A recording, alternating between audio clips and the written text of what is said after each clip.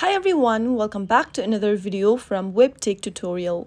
In today's episode, I'm going to be showing you how to change your Yahoo theme color. So let's get started right away. First of all, launch open your Yahoo Mail application from your app drawer and make sure to log into your account. After you are signed into the account, go ahead and tap on your profile picture at the top left hand corner. Now, tap on the settings button. Under customize your inbox, tap on themes and select a color theme you would like to change to for your account. Finally, tap save in order to save your change.